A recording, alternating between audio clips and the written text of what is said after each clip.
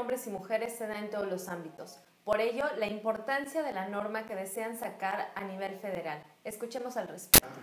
Ya eh, fue anunciado el viernes, el día martes, este, enviamos a unos inspectores, estamos en un proceso de inspección de Playa del Carmen. Este, pero es, es algo que, tenemos que luchar constantemente. Según las estadísticas, de cada 10 mujeres, 8 han sufrido algún tipo de hostigamiento. Y a veces no lo saben. Nosotros anunciamos a través de los medios, a través de las diferentes eh, recursos humanos, cámaras empresariales, aprendamos a denunciar.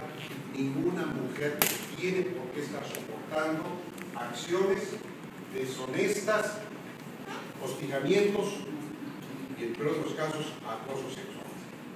Si las estadísticas te marcan que de cada 10 mujeres, 8 han sufrido un tipo de hostigamiento, es para preocuparse, es para realmente tomar cartas en el acción.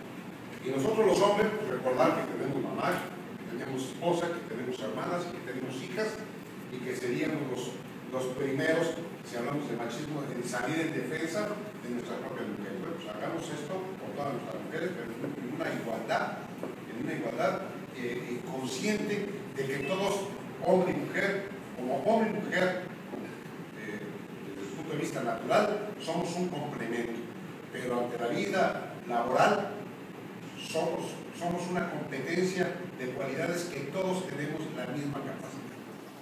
Para este más información visita la página www.diariodelaverdad.com.mx.